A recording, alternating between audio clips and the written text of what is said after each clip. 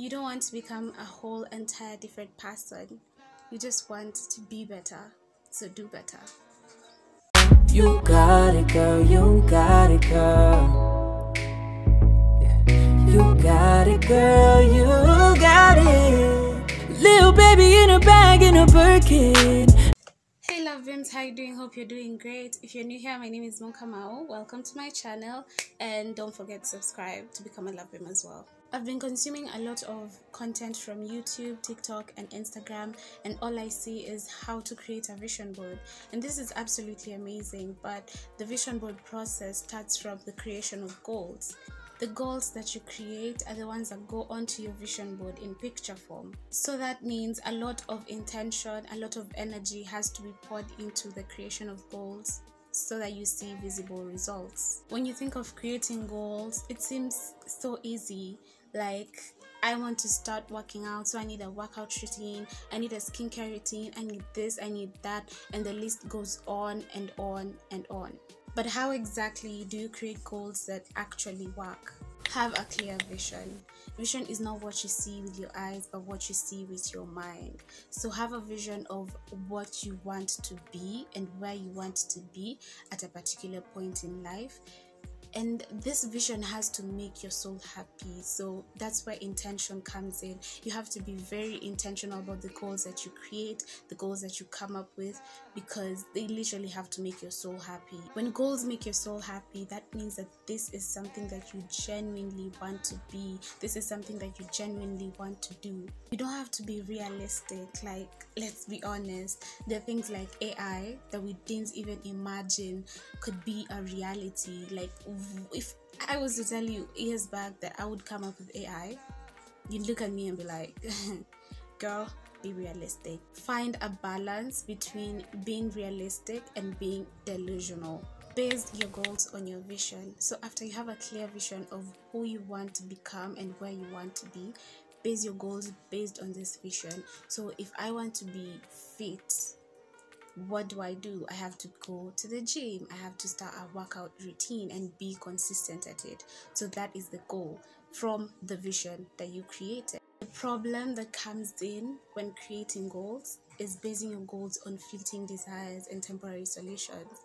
Like, because skinny is a new trend, I have to starve myself. I have to get to this skinny like i have to get there. So i starve myself and i do all these things not because i want to like these are not intentional goals but these are because of the fleeting desires because that's that's what it's in. This is not a goal that you intentionally want to achieve but you just want to do it because that's what's trending. Focus on who you want to be or who you need to be.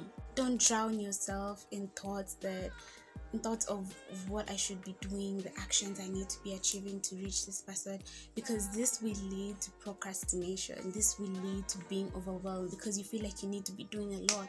I want to lose weight, so I have to wake up at 5 a.m., start my workout routine before going to work. Da, da, da, da, da. I need to be doing this, I need to be doing that. And you get overwhelmed with everything that you think you need to be doing instead of doing it. Act like the person you want to become if you want to become successful, what does a successful person do? Do they wake up early? Do they wake up late? Do they start giving life to the ideas that they have, or do they just let the ideas sit there? Start walking in the path of the person that you want to become so that you get there eventually. Setting goals and having a cute vision board is cute. Like, that is absolutely what we all do. But that doesn't get you there because I can create goals and create this cute vision board and just place it somewhere and it stays there. It's just not enough to get you there. It's not enough to make you the person you want to become. It's not enough to get you to where you want to be. You have to act. You have to act. You have to do the things that you need to do to get there. The only difference between you and the person that you want to become are your actions. You just want to become a better person. You don't want to change your identity. You don't want to become an entire different person. You just want to become better. So do better. Start and be consistent. When you start, you start to gain momentum. And you start to see the results okay? So it doesn't matter if it's the 10th of january or in february or whatever time you're watching this but the fact is you need to start. At whatever point you just need to start and gain momentum so that you start seeing the, results so that the results start becoming visible to you and to the people around you. You start reading the bible more you start doing it it becomes a routine. You incorporate it into your routine. It literally becomes part of you such that when you haven't read the bible you feel like there's something that's not right in your day okay because it has already become a part of you you know why they say practice makes perfect because there's consistency in practicing last but not least involve god involve God. Involve God in all your plans because He is God. With or without the creation of your goals, He remains to be God. In Jeremiah 29 11, it says that God knew you while you were still in your mother's womb. So this means He started making plans for you before you could even start making plans for yourself. He has been planning everything even before you were born. He knows you. And He says that His plans are for good and not for evil, to give you a future and a hope. So his plans are literally it. When we get into the story of Jonah, God had a plan for him. God told him to go and preach in Nineveh, but he he was like, "No, I got my own plans. I got my own plans. Your plans, Lord, they can wait. I'm not going to Nineveh." And what did God do? The boat he was in, like there was a storm, and people knew that someone has wronged God, like someone among them had wronged God, and they started asking each other, da da da da da da. And Jonah came in and he was like, uh, I think I'm the problem. I was sent to Nineveh, but I, I didn't go. And what did these people do? They threw him inside the ocean. He was swallowed by a whale. He was in the whale for like, is it three days? And the whale literally vomited him or whatever in Nineveh. So God's plan worked out at the end of the day. It worked out at the end of the day. Like Jonah couldn't run away from the plans that God had for him. Like you have to be obedient to God's plan. That's why I'm telling you to involve God. Involve God in all the plans that you make so that your plans align to His, His plans align to yours so that they actually work. If I was planning to go to uh, Rwanda and God's plan is for me to go to Uganda. Trust you me, I will go to Uganda at the end of the day.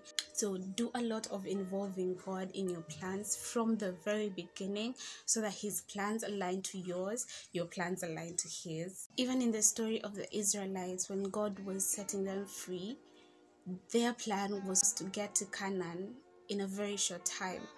But they started disobeying God and they literally went around the same place for 40 what i'm actually trying to emphasize is for you to involve god in your plans period.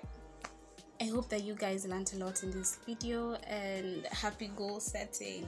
May all your goals come to life. May your goals work. Don't forget to like share and subscribe to this video guys. You don't know how much you make me happy when you subscribe to my channel. Share this video with your friends and your family. Like this video so that it gets to as many people as it can. Hope to see you in my next video. Bye. All the things that you do for me make me believe